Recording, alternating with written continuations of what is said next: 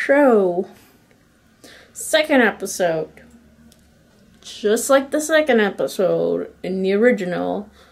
Also, um, not really many differences here. You know, maybe I shouldn't do this daily because I feel like I'm getting redundant.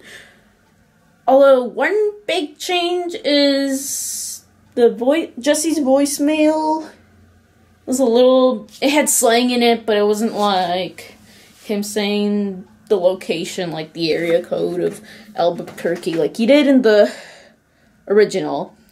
Also, I'm so upset they didn't do an equivalent, like, with slang with Skyler when she goes, My name is Skyler White, yo. My husband's Walter White, yo. She just said, Me llamo Cielo Blanco.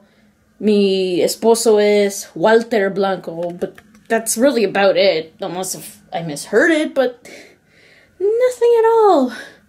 So I can't really say much.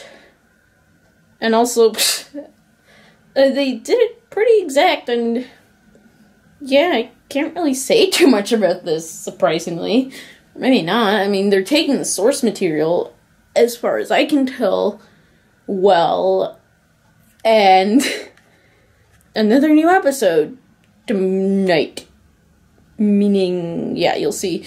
I'll see if I can. I have anything to say for tomorrow's. If not, I'll do a recap at the end of the week of the first week of Breaking Bad. So, or metastases, metastases. There you go. I pronounced it wrong the first time.